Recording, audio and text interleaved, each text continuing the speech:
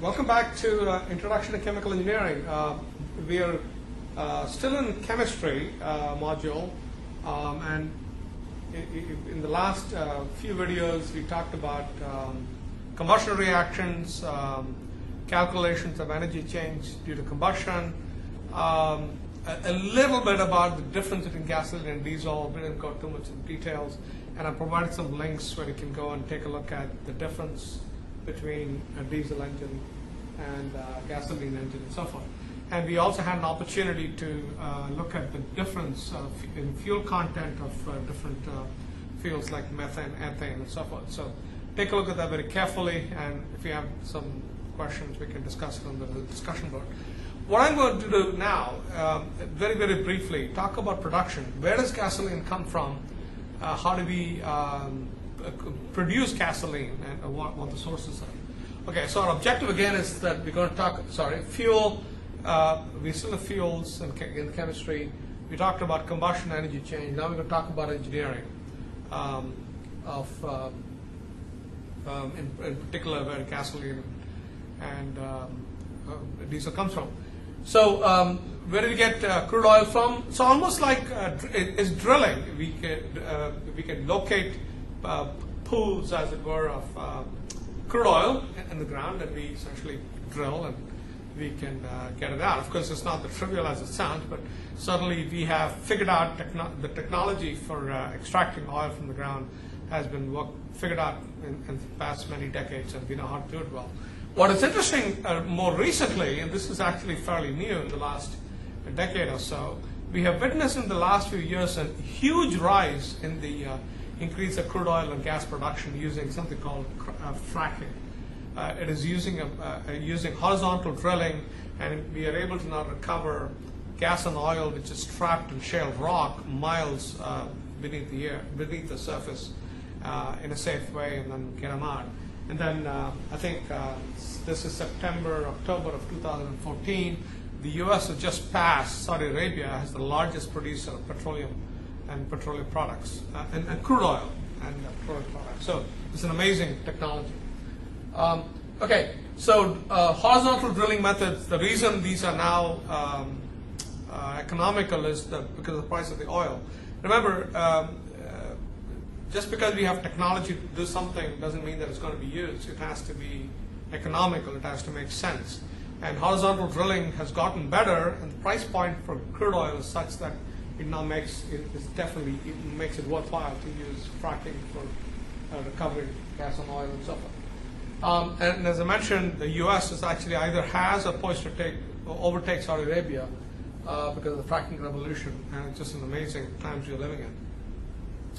Uh, okay, so we get crude oil either using the traditional methods of drilling or fracking and so forth. How do we get the gasoline from it? Uh, simple principle is that you take crude oil and heat it. When you heat it, you create fractions, um, low boiling fractions, high boiling fractions, and so forth. So you heat them and simply collect the fractions at different heights in a column, and there we are. We get uh, at very top, we get more natural gas, uh, and then uh, as we go down a column, for example, we'll get gasoline, diesel, uh, kerosene, uh, uh, aviation fuel, and so forth. Now, one of the other things that engineers also do is that when we uh, heat crude oil and get fractions, we get light fractions, we get heavy fractions. And uh, depending on the market, for example, typically the lighter fractions tend to get, you get more money for it in the market because they're more useful as fuel and so forth. So chemical engineers have worked out methods to take the heavy fractions and break them up into smaller frac- uh, to um, low molecular weight fractions using something called uh, uh, f- crack fluid catalytic cracking as an example. So you can take uh, what is less valuable, chemically transform into something which is more valuable. And that's also an operation that chemical engineers learn uh, as to what that operation is, and they learn about how actually it is done. So this is a simple uh, from BP.com um, uh, example of a distillation column, as it were. You send your heated uh, liquid into the column, and then it rises. As the vapors rise, it condenses at different heights depending on the temperature, and then we collect different fractions. So here is an example. This is gas, gasoline, uh, natural gas, gasoline, kerosene, uh, and so on and so forth. So in principle, it's as simple as heating it, collecting fractions, and gasoline is one fraction. So as you can imagine, gasoline is not one compound, but a mixture of different hydrocarbons. So we collect it at different, different heights. This is just a slightly better example of how uh, the uh, crude oil gets divided up into fractions. You can see, for example, all the way from the bottom to, to very heavy gas oil to uh, lighter fractions at the top. Uh, this is from ExxonMobil. And the next one, what this shows is immediately after the uh, first fractionation, um, you can you can do, you can um, have other chemical steps in, in it, including chemical reactors, uh, and there are other physical changes that it can impose on these uh, different fractions that come out of the basic distillation unit. And then, depending on the market, you can actually um, uh, have some um, columns producing, say, more of one versus less of the other, and so forth, through uh, different operating conditions and so forth. So what this is telling you is that from the from the crude oil, we get a huge number of different products, all of which either used directly as fuel, for example, or they go on to use for making other products from uh, from these fractions, including polyethylene, polypropylene. So many of the materials that we use daily uh, has a source in uh, the crude oil from the different fractions of the crude oil. Um, and this is just another little bit more detailed um, process flow diagram, as it were, of uh, some of the chemistries that are used to do the conversion of uh, crude oil into different fractions and different uh, materials, for example. So here you see uh, uh, some of the chemistries used. There is a, a catalyst reactor. This is the fluid catalytic cracking unit.